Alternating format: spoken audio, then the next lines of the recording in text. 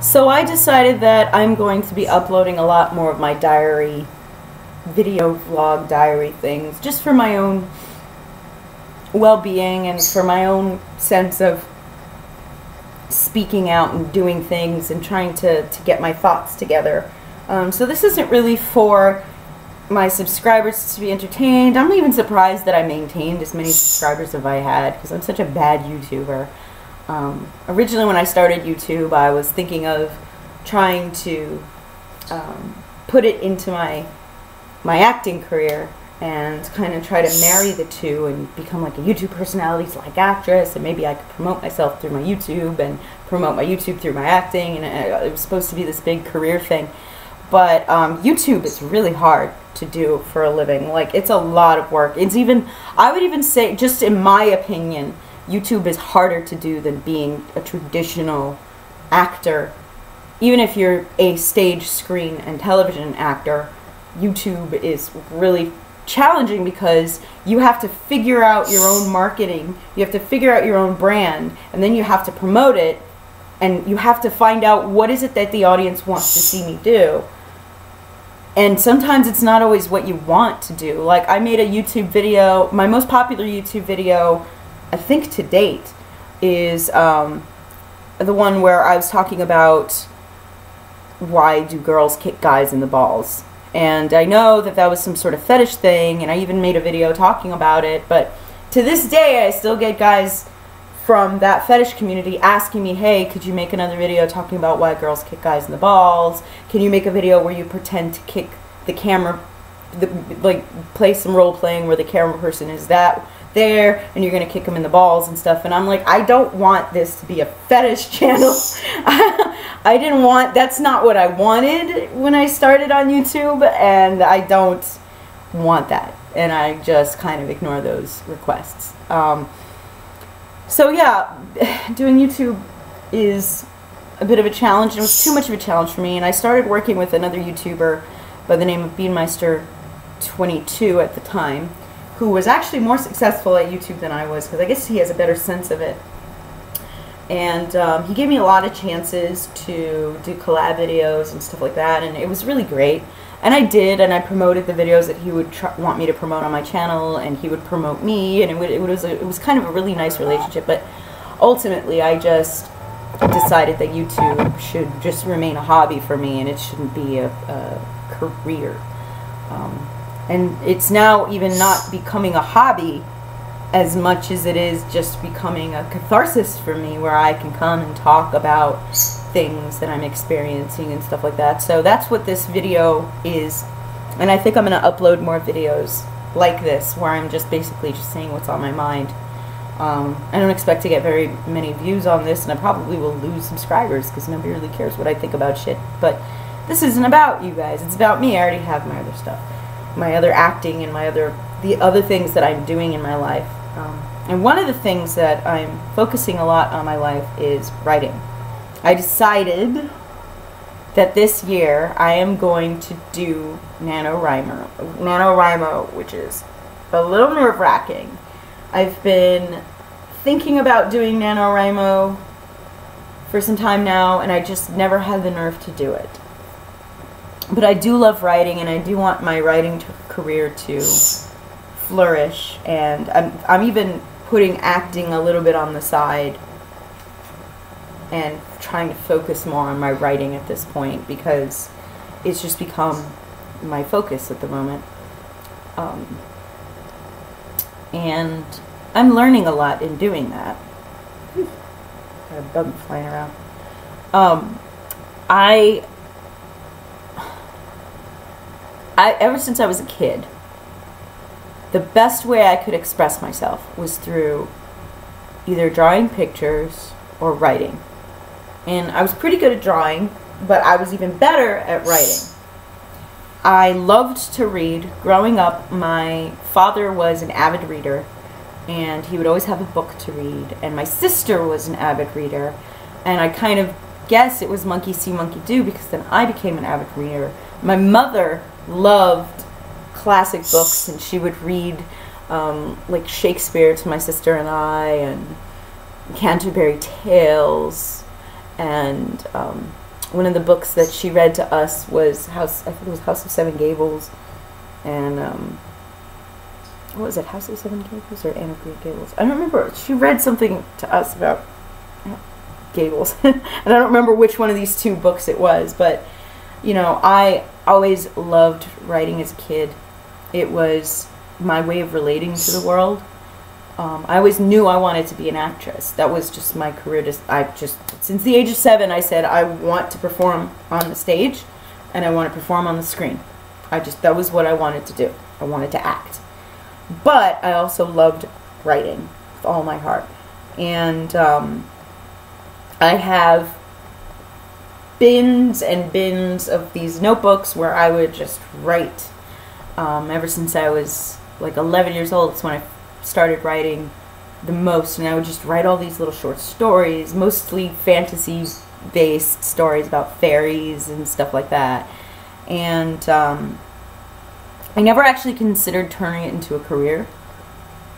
To be honest with you, I always thought that maybe one day I might try that, but I never really focused on it seriously until I met my husband, who told me, well, if you're going to be a writer, you you have to write and that's why he gave me time off of my job. I quit my job working as a cocktail waitress slash bartender, where I was making good money, and uh, took some time off to write, and it changed my pers- my my perspective of what I actually want to do with my life. And while I still enjoy acting, and it's what I love to do. I was a professional actress in New York.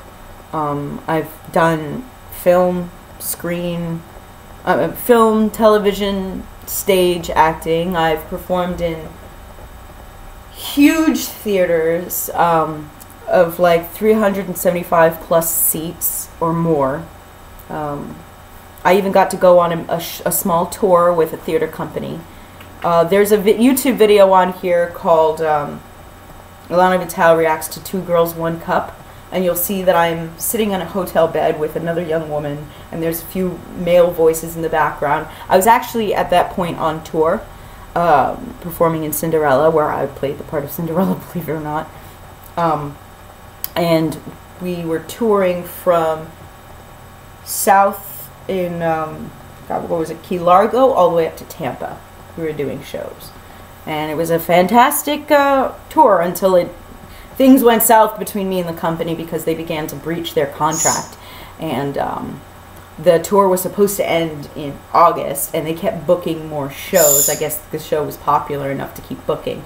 And my contract ended and they kept expecting us to continue with the contract because some of the other uh, performers in the show some of the other cast members were actually employees of the company and I told them, I can't do that. I do have a day job. And while your company pays great, you're not going to give me unemployment. And I need money for the rest of the year. And I really don't want to lose my day job. Is that okay? you know? Anyway, um, that went south because they kept booking me and booking me. And then they had they wanted to use me in, I believe, two other productions, which I agreed to. But then I started I started getting um, frazzled. I was at the end of my rope because um, my other, my day job was, you know, being a cocktail waitress. And believe it or not, cocktail waitresses can make a lot of money. I would make about 250 to $300 a day working an eight hour shift. And that was working the day shift. If I worked the night shift, I would probably make more. So, you know, there were some girls taking home $700 a day. So, you know, working as a, if you're, well, yeah, this was a couple pounds ago, but if you're pretty enough to work as a cocktail waitress or a shot girl or a bartender, it's a great job to have, but it does kind of condition you to get used to that amount of money in your lifestyle. And then you get a little dependent on that. And at the time, I think I was living on my own. So, it was just really difficult to balance that and the theater company. And the theater company kept breaching their contract. And they would send me a new tour book that wouldn't be accurate. It would be last year's tour book. So i wouldn't get my dates correctly. So then i would have to call in sick. And then i would get a write-up. And you know it, it just became chaotic and for the money i was making with the theater company, it was not enough. This obviously was a non-union. Was not enough to keep me afloat. You know, without my day job. So it just it just all kind of basically fell to pieces. And this is a Florida-based company, so if this was a New York-based company like my other the other theater company that I did up um, in Central Park, that we were doing um, children's theater in Central Park and Queens Zoo. There was like a for a while there was a thing called Wildlife Theater where they would uh, perform for the children in the summer, and then during the school year they would actually book shows in schools to do theater, educational theater for children in the New York City school system. It was a great company that fell apart internally because of drama, as companies always do. But um, you know that company was a good company to work for. And I guess I was a little spoiled because I was getting paid quite a bit of money. More money than both my day job and Cinderella combined in South Florida. So I I was used to that and then afterward when the contract ended because this was a contract that was funded by the New York City Parks Department. When that ended, I had the ability to have unemployment for the remainder of the year. And so I'm used to that type of treatment. And a lot of the performers in that show were union actors, so it followed union um, equity guidelines of how to treat performers. So to go from that to what happened with Cinderella, where there was the breach of contract, and then originally they were going to pay during the audition it said they were going to pay a certain amount and then they said oh we can't pay you that much. We have to give you a smaller percentage of that. And then oh well you know because you couldn't book this show we're going to dock your pay for this period of time and you know all this other stuff because of loss of funds. They played they, they played some shady games. But i don't know why i started talking about theater. But anyway that run of cinderella when you see my video, Two Girls, One Cup, we were touring, and I think at the point we were in Tampa, and um, we were going to perform at the, I think, the Tampa Theater, Tampa, Tampa. It was a big theater, beautiful theater. Um, and so, you know, that was always the focus of my career. I've always wanted to just do acting. Um, I also did some independent film. I was in many other films that are not um, in New York in particular. I did more film. I think I did more film work in New York than South Florida. Oh no, that's not entirely true, because this, there was a couple of films that I did that were shooting in South Florida, but were from out of the country. There was a Brazilian company that came in, and they were doing an entire film called uh, uh, "Fisherman and His Soul," and the entire film was shot on green screen and the world that it was a fantasy world and the world that inhabited was supposed to be um, computer generated. Very similar to the mirror mask um, from jim henson's company. And i was to play the witch. I always play the witch. And i am a witch so that's funny. But anyway acting great fantastic. Modeling great fantastic. Writing something i always thought of in the back of my head. Then my husband said why don't you just focus on it more? Because it's not going to get done unless you focus on it more when I focused on it more, I was like, wow, this is something I really, really want to pursue. So, for the time being, I am in a market that there isn't as much acting work anyway down here, and I'm not modeling anymore. Um, obviously, I've put on some weight, so it's going to make it a little bit more of a challenge to get modeling gigs. And I decided, you know what? I think I want to write. So I wrote the manuscript and was I was sending it out. Hey, Bo. Watson's coming to say hi. Remember when I first got him? And he was this like puppy who kept climbing all over me. Now he's an old boy. Look, he's got like gray on his mouth. He's a good boy. Um, when my husband told me to write the manuscript, it just opened my eyes to this whole world of writing. And so, I, yes, I submitted my manuscript to a few literary agents, and I never heard back from pretty much most of them, and a few publishing companies. And one publishing company out in London contacted me and said that they were interested, but they seemed to have a not so awesome uh, you know, reputation in. And then it, it learned. Then I learned that they are kind of a little bit of a subsidy press, and I. Well, there's nothing wrong with that. I just, you know, was like, mm, you know.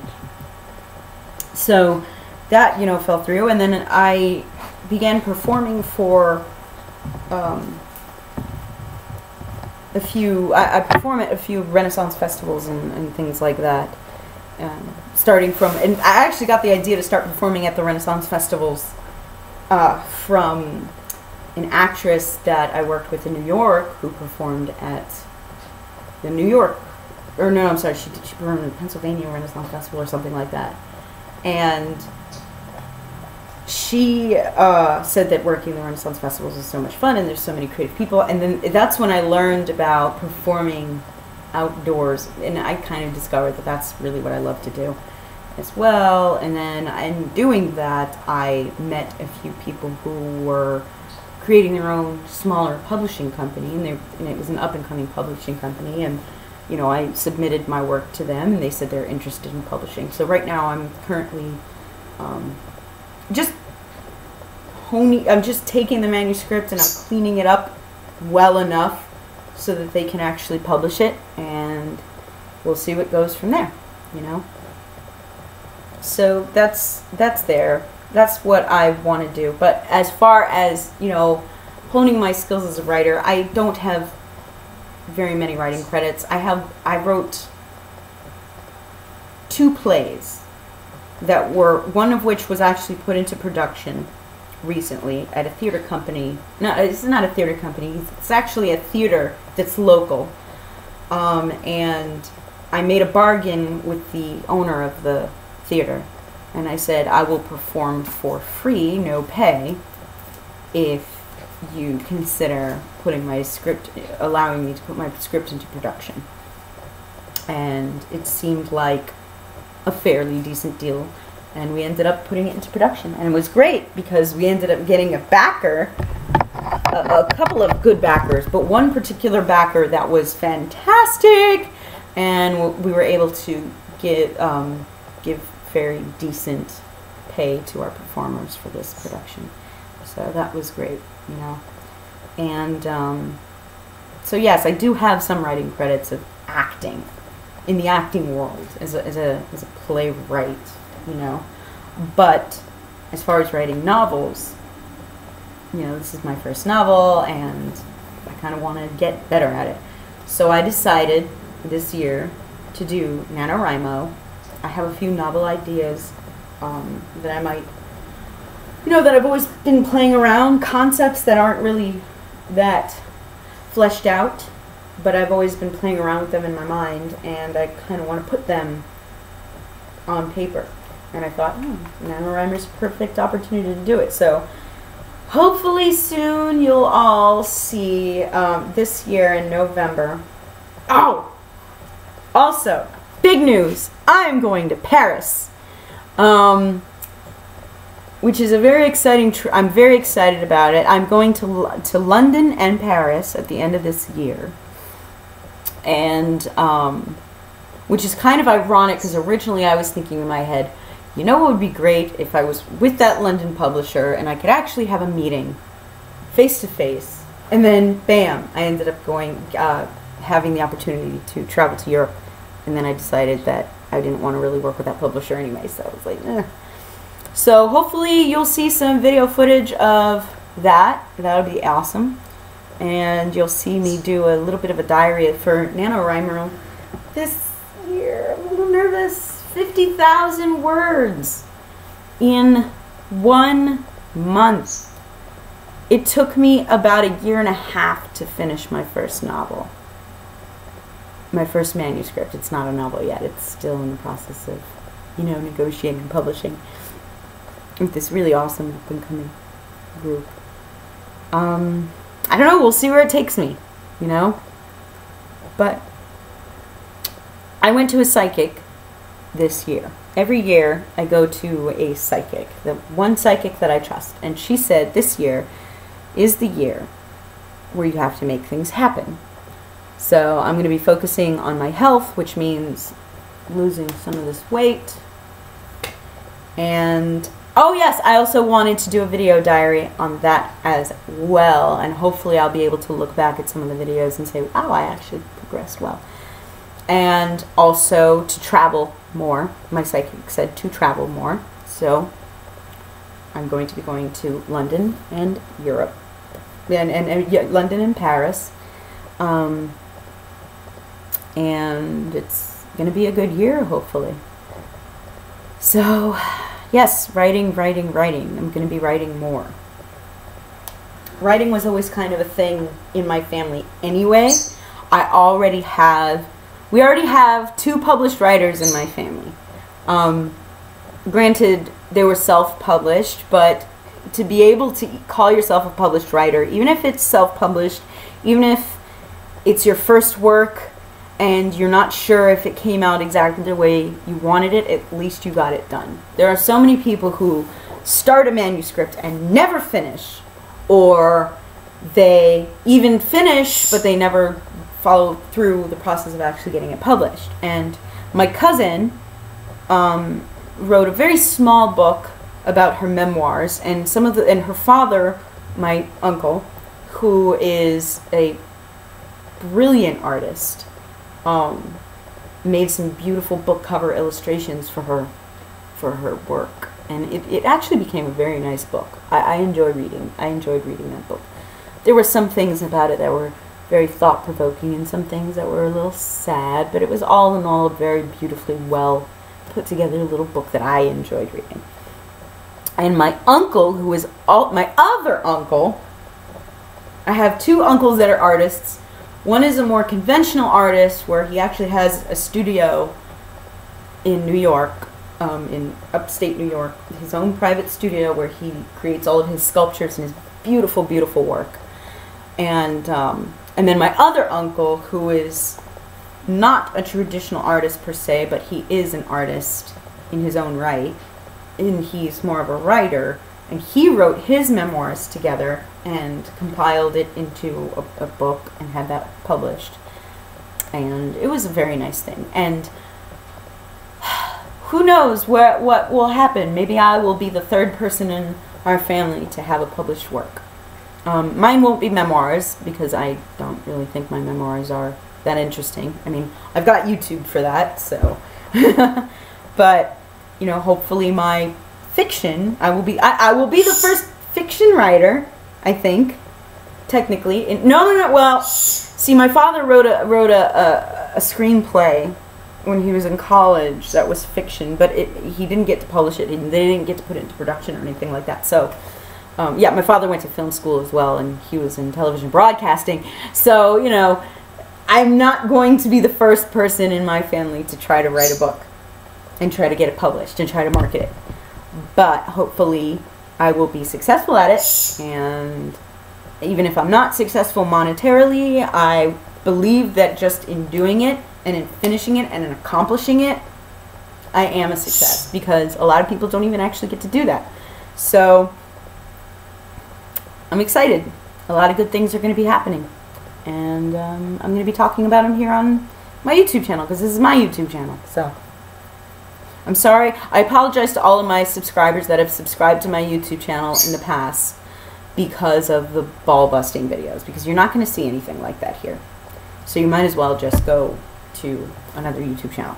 I apologize to all of my YouTubers who subscribe to my YouTube channel because of all of the coherent, sort of kind of nicely edited videos that I had in the past because I'm probably not going to be uploading those as much anymore, as you can tell. Um, once in a while, I might spit one out just because I feel like editing, but I'm not really going to do that as much. This is, I mean, look, this video is already 24 minutes, and I'm not really, it's, uh, what did I talk about? YouTube, acting, and NaNoWriMo, and what I want to do this year, and a little bit of family stuff, a little bit of insight for my family. And, you know, this is not coherent. but yeah um, it's gonna be it's this is this is the YouTube channel you can unsubscribe if you want if it's boring I will probably still rant about feminism and Onision and talk about YouTube drama because that's what interests me. Like right now, this whole Daddy of Five thing's got me all tied up in knots. Like I'm heartbroken that this kid had to go through this, and you know, so many people are coming out and saying, "Hey, you know, I went through that." myself included. And I even made on my YouTube channel here, I made like a little folder for Cody if he ever, and the off chance and the, the, uh, the likelihood of this ever happening is extremely rare. And the off chance that Cody grows up and is an okay person and one day decides, gee, I'm going to look up that old show that my stupid father used to do and see whatever, see if I could see that just for my own catharsis. And then maybe he can see all of the online support and not just me but everybody. There's so many people online that are making videos supporting this poor kid you know? That's what i'm thinking about right now. Last week i was thinking about onision and how crazy he is. And then the week before that i was i was thinking about chris chan and how crazy he is. Who knows what i'll be making videos about next week maybe i'll be making videos about cats or something but yeah. All right, I think I'm done talking.